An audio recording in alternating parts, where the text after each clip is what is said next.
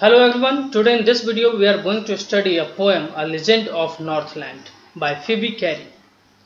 As a name, as the title of this poem suggests that this poem is going to narrate us a legend. Now what is legend? Legend is usually a traditional story. It narrates, it's a historical or traditional story. It narrates a story something related to past or a tradition. However, its credibility is not authenticated. The main idea of legend is, the main purpose of legend is to instill in the minds of children the value of kindness, generosity and charity. It means the human quality.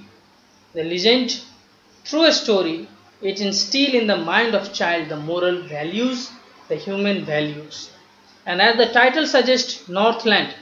Northland suggests that the poem is situated somewhere in or around North Pole. So the Northland is somewhere around North Pole. And the style of this poem, it is written in the style of ballad. Now what is ballad? Ballad is a song narrating a story in short stanza. The word ballad is of French provenance. It is a type of poetry or verse which are basically used as a dance song in ancient France. It is written in simple and easy to understand language. Hardship, tragedies, love and romance are the standard ingredients of ballad. Ballads are a part of a folk culture or popular culture and are passed on orally from one generation to next generation. A legend of the Northland is a ballad. So, ballad is a song which narrates a story. It narrates a story and it has its origin in French provenance. Usually it is a dance song sung in a very simple and easy language. The major theme are hardship, prejudice, love, romance. And the most significant feature is that it is passed on from one generation to another generation orally, not in a written form. Now before we move to the text, let me introduce you to the poet. Phoebe Cary was an American poetess and the younger sister of poetess Alice Cary. She was born on 4 September 1824. The sisters co-published poems in 1849 and then each went on to publish volumes of her own. After her death in 1871, joint anthologies of the sisters' unpublished poems were also compiled. Now let's move to the text. Away, away in Northland, where the hours of the day are few and the nights are so long in winter that they cannot slip them through. This paragraph, the first paragraph, gives us the his, uh, sorry geographical ideas of that area. That away, away, it means it is far away. Away stands for far away in Northland. So the poem is going to talk about the geography, geographical area that is Northland, where the hours of the day are few and the nights are so long in winter. During winter, usually during winter, nights used to be longer than day. But in these areas in Northland near pole, um, during winter season, nights used to be quite longer. And it is so long that people even feel bored of sleeping that people can't spend their time sleeping all the time in night even it is so long. So this paragraph gives us the historical significance the historical idea sorry geographical idea of that area that is of northland that is near north pole where they harness the swift reindeer to sledge when it snows and the children look like bear's cub in their funny furry clothes. So what they do, there during winter season when it snows, when snow falls all around, when there is a snow all around, then what they do? They used to tie. Harness here stand for tie. Tie the swift reindeer. Swift reindeer, you reindeer, this is reindeer, this animal which you see here in the picture, that this is reindeer. They used to tie swift reindeer to the sledge. Now this wooden frame which you see here on which the people are sitting, that is sledge when it is snow So they used to use this structure for transportation. So when it snows, when it is snow all around, at that time they use this structure that is reindeer and sleighs as a means of communication. And the children look like bear's cub. So children, the children of that place during winter season has been compared to bear's cub why they are compared to bear's cub because in their funny furry clothes. So when they are in their funny furry clothes they looks like bear's cub so bear's cub you can see you might have seen bear and bear have hairy projection over their bed oh, sorry over their body. See so similarly the child when they wear the furry clothes they look like bear cubs. So their size they are quite small as compared as they look as similar to a bear's cub in size and that too the fur of the their body the clothes which they wear the furry clothes which they wear that gives a projection of bear's cub hairy body. And that's why they look like bear's cub during winter season they tell them a curious story I don't believe it is true, and yet you may learn a lesson if I tell the tale to you. So the poet says, the poetess says over here that there in that land, the people of that land, they here refers to the people of that land, they used to narrate a curious story. Here curious means an interesting story, a strange story. So they narrate a strange story to their children now the poet says, the poetess says that I don't believe it is true. She don't find it to be true. It is this TIS. It stands for it is in Old English. So she don't believe it to be true. But she says at the same moment, she says that if she is going to narrate that story to us, to you, to the reader, then definitely the reader is going to learn some lesson from it. Now what is that story? That now the poetess is going to narrate that story to us through this poem.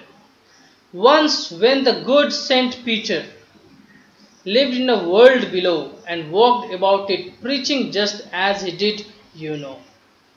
So Saint Peter, Saint Peter when he was alive, the poetess is talking about Saint Peter, a good Saint Peter an apostle of Christ. Saint Peter is an apostle of Christ. So she says that when he was alive, when he was in this world below, world below here it means when he was alive living on the earth. At that moment he used to walk all around and preach, giving messages to the people he used to go all around the world. He used to walk day and night and used to preach people. Preaches to give messages to the people. So he used to preach, giving sermons. Preaching is giving sermons. He came to the door of a cottage in traveling round the earth where a little woman was making cakes and baking them on the hearth. So we are introduced to another character that is a little woman. So one day while he was traveling all around and preaching people, then what happened? He came to a little door. Sorry, he went, he came to a door of a cottage. He came near a cottage. There in that cottage, a little woman was making cakes. A woman was there, she was making cakes and baking them on the hearth. So she was kneading, she was doing and then baking that cake on the hearth. Hearth is fireplace. Hearth is fireplace. And being faint with fasting, for the day was almost done, he asked her from her store of cakes to give him a single one. So we come to know that that lady, she on, she had a bakery shop. She owns a bakery shop. So he was totally being faint with fasting. He was totally tired, feeling tired and dizzy, light-headed. It means he has roamed all around the world throughout the day and night and therefore out of hunger now he was feeling totally tired and he was hungry. So he came to this cottage and there he asked to that lady for a cake, for a single cake from her cake stores. So she made a very little cake, but it was when, but as it baking lay, she looked at it and thought it seemed too large to give away. Now see here, she made a very little cake. She did not give the cake which was already there in the store as definitely it, it was for selling purpose but now it is a sort of thing she, she has to give it to the saint free of cost and therefore in order to give him she started baking a new cake especially for giving her that too of a very little size so she made a cake and that too very little one. But when as it baking lay, so when it was on the hearth for baking, at that moment she saw that cake and it seemed quite large to her. She thought that this size, the size of the cake can't be given away in charity. She thought that it's quite big to give away in charity, therefore she did not think it proper to give away. So it shows her greedy nature. Inhumane quality. A person who is hungry, who is tired, who is about to faint, has asked her for a loaf, loaf of bake, sorry, cake, but she had denied. She had not denied directly, but indirectly she is pretending she is behaving as if she did not want to give uh, even a bit of cake to the saint. Now see then what she did. Therefore she needed another and still a smaller one. But it looked when she turned it over as large as the first had done.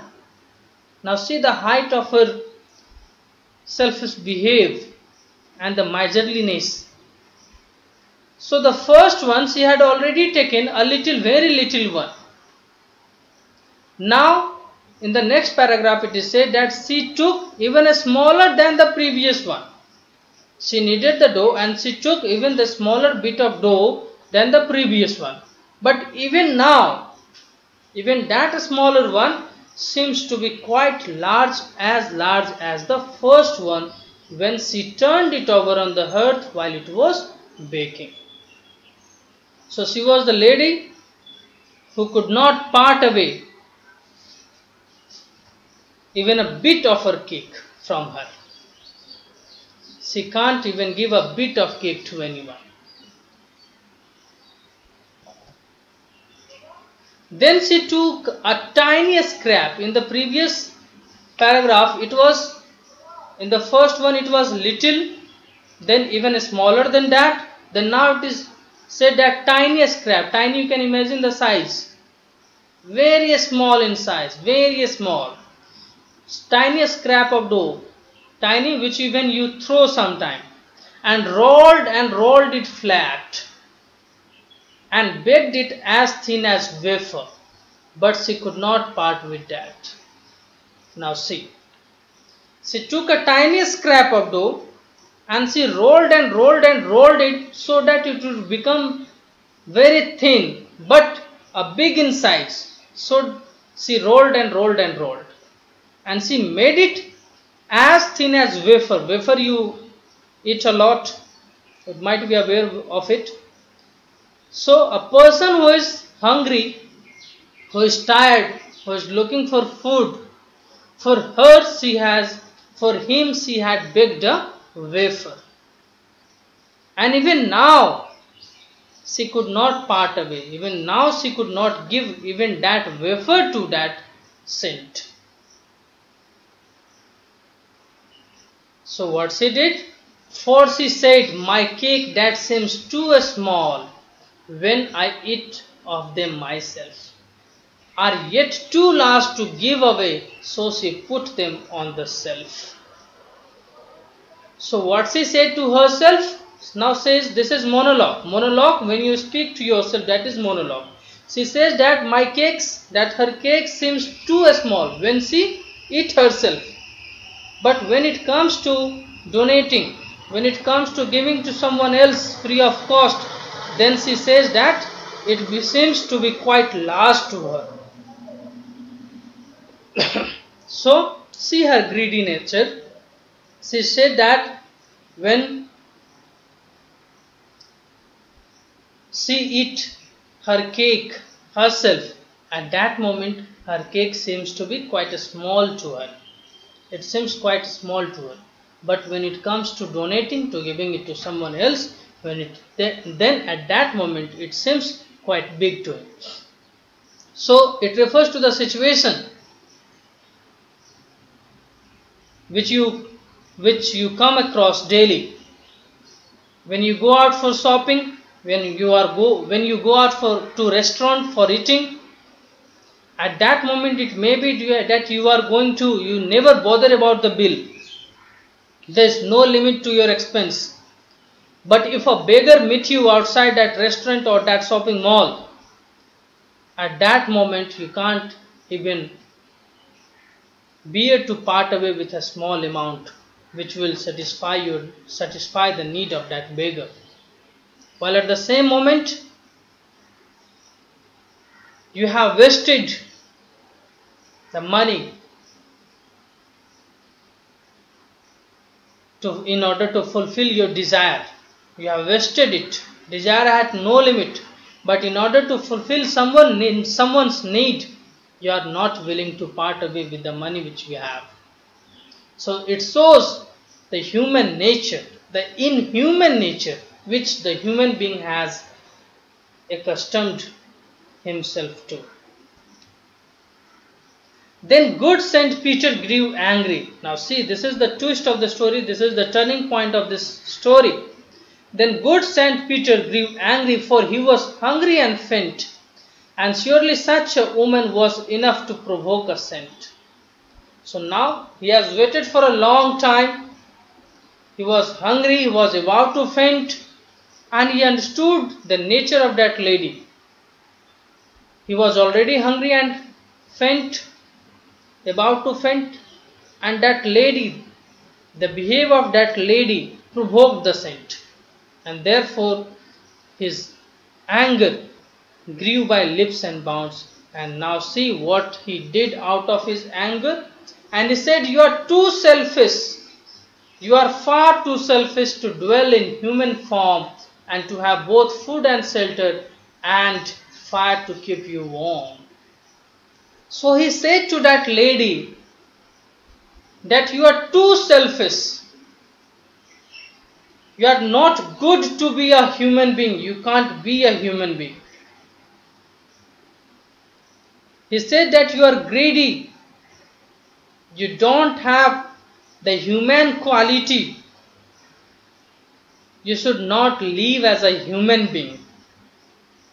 Dwell, it means to live. You are not fit to be a human.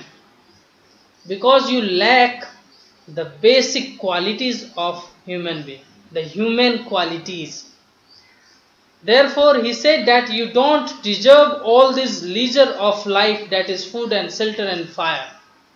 You don't deserve all these things because you don't understand the feeling of others. Now, let's see then what he did. Now you shall build as the birds do, and shall get your scanty food by boring and boring and boring all day in the hard dry wood. So now the Saint Peter has cursed that lady and he said in the last paragraph we have already seen that he said that you are that you are not fit to be a human being because you lack the humane nature. And therefore now what he said? He said that you will be a bird. So he converted that lady that little woman into bird and what curse he gave? That shall get very scanty food. You will get very scanty food very little amount of food. And that too by doing a very hard labor. And what labor you will do? You will bore and bore and bore all day in the hard dry wood. So the wood the trunk of the tree you might have seen it how hard it is. So he cursed that lady that you will have to bore throughout the day in that hard trunk with your beak and even then you will not get the sufficient amount of food. So he converted that lady into a woodpecker. You can see here in this photograph. Then up she went through the chimney, never speaking a word, and out of the top flew a woodpecker, for she was changed to a bird. So as a result, as a result of curse which was given by Saint Peter, Saint Peter, that lady converted into a woodpecker, and it flew out without a word, without making any noise from the chimney. Chimney you can see here. So in a bakery shop there used to be a chim chimney to escape the smokes out of that bakery shop because the hearth used to alight all the time in the bakery shop and therefore there used to be a chimney and through that chimney only that little woman flew out without making any word, without saying any word and finally she is changed to a bird, to a woodpecker. She had a scarlet on her head and that was left the same but all the rest of her clothes were burned black as a coal in flame. So what happened while she was fleeing out of that chimney? At that moment what happened? Her all clothes, whatever she was wearing, all that burned and it became as black as coal. So flame, the flame which was there in the chimney that burned the clothes of that little woman and as a result her body became as black as coal. Only the scarlet cap, the cap which she had on her head, only that remained and therefore the head was red in color while the whole body became black in color. Here you can see in this photograph the whole body is black in color only the head is red in color. So this her head is red in color due to that scarlet cap which she had on her head only this was left and the rest clothes was burnt. And every country schoolboy has seen her in a wood where she lives in the trees till this very day boring and boring for food. So now she is away from home, she is away from all luxury of life, all basic necessities of life and now she is living in forest where the schoolboy passed through and they used to make fun at that bird and now she is making hole in the tree trunk with the beak for finding foods. So in this poem we come to know that how a lady having inhuman qualities who don't possess any human quality was converted to a woodpecker. So the poet through this legend want us to have some human quality, to be generous toward the needy people, to be kind and soft-hearted to the people who are in need. This is all about the literal meaning of this poem. Now let's move to the literary devices used in this poem.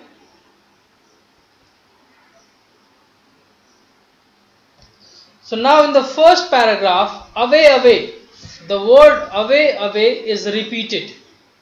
So it forms a literary device that is known as repetition.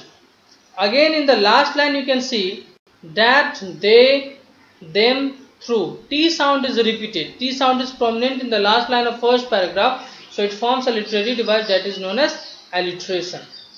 Again one thing you can notice in the third line, you can see that the words of third line shifts to fourth line without any punctuation mark.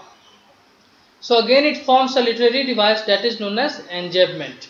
Similarly, enjambment you can find in the next paragraph, first line of next paragraph. Here again there is no punctuation mark and the word shifts to next line without any punctuation mark. Similarly here in third line of the second paragraph you can find enjambment. So the word shifts to next line without any punctuation mark. And again in the second last line of second paragraph you can see look like bear's cub. So here the child, the children, here the children of Northland have been compared to bear's cub. So this bear's curve comparison of child to the bear's curve refers to a literary device that is known as simile. So whenever a comparison is being made with the help of as and like, it refers to literary device, poetic device that is known as simile. Again in the last line you can see funny furry. F sound is prominent over here in this two word. So it forms a literary device that is known as alliteration. Now coming to next paragraph. In this paragraph, you can see in the first line, T sound is prominent. They tell them. T sound is prominent, so it forms a literary device that is known as alliteration. Again, in the third and fourth line, you will see, in third line, you will see Y sound is prominent. Y is repeated in the subsequent word that is in yet and you. So again it forms a literary device that is alliteration. Again in last line tell the tale. T sound is repeated. T sound is repeated over here. So again it forms a literary device that is alliteration. Moving to next paragraph you can see Saint Peter. Saint Peter is referred over here in this paragraph so Saint Peter, it forms a literary device that is known as allusion. Now what is allusion? Allusion is referring to someone from history or someone from past or someone who is not present at the present. So that is allusion. Now again in the last line you can see the comparison is being you made with the help of as. So again it forms a literary device that is simile. Moving to next paragraph. He came to the door of a cottage. In this paragraph you can see in the first line O sound is prominent. To door of cottage. So O sound is prominent. Again it forms a literary device that is known as assonance. In the next paragraph you can see in the first line faint with fasting. F sound is prominent. F sound is repeated in the starting of the subsequent word so it forms a literary device that is known as alliteration.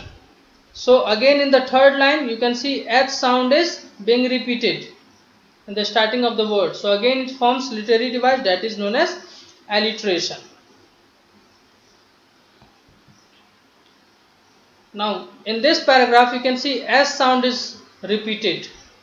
So again it forms a literary device that is alliteration. Again in the second line you can see but baking. Again it forms a alliteration. In next paragraph in the last line as large as the first had done. So the comparison between that two cake which he was baking for Saint Peter is being done using as. And therefore it refers to poetic device that is simile. Again coming to next paragraph in the second line you can see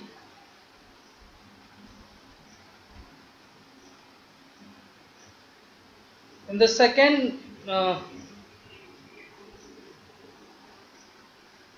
sorry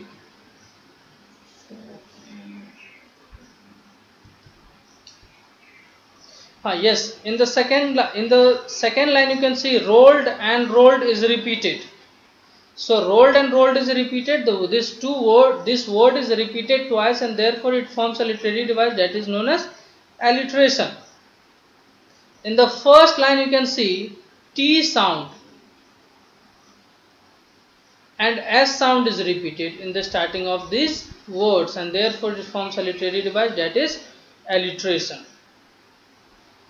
Then again in third line thin as wafer so that cake is being compared with the help of as to wafer. Therefore, it forms a device that is simile. Now moving to next paragraph. I eat them myself. Them here refers to cake. Now cake is not living thing but them is being used for it. Them is usually used for living being and therefore it is being personified. Therefore it is personification. Now again in the last line of this second paragraph you can see S sound is repeated in the beginning of these words and therefore it again forms literary device that is alliteration. Then in next paragraph again Saint Peter is evoked over here so again it forms literary device that is allusion. Again in the next line you can see H sound is prominent H and F sound is repeated in the beginning of the word therefore it forms a literary device that is known as alliteration again in next line s sound is repeated. Again it forms alliteration. Now in next paragraph you can see in the second and third line. Both the line starts with the subsequent line starts with the same word that is with two. So it forms a literary device that is known as anaphora. So whenever the subsequent line starts with the same words it forms a literary device that is known as anaphora. And in the third line you can see O sound is prominent to both food. O sound is prominent in these three words and therefore it forms assonance. It forms a literary device that is assonance. Moving to next paragraph as the birds do. So now she is being compared to birds. So she will have to be like bird. The woman is being compared to bird. So it refers to literary device that is simile. Again in the third line you can see boring word is repeated. So again it forms literary device that is repetition. Moving to next paragraph. In the third line you can see out of top woodpecker. So O sound is prominent over here in this line and therefore it forms a literary device that is known as assonance. Now moving to next paragraph in the last line you can see black as a coal. So the color of that bird that is a lady the lady which who was converted to woodpecker so the color of that bird is being compared to the color of coal and therefore it forms a literary device that is simile. Again in the next last paragraph in the last line you can see boring boring is being repeated and therefore it forms a literary device that is known as repetition. So this is all about the literary devices the poetic devices which is being used in this poem. So in this poem we come to know that we should possess the necessary human quality which each and every one should have. Otherwise, it may be that the same consequences we may face as the little woman in this poem, in this legend has faced. So thank you for watching this video. Thank you.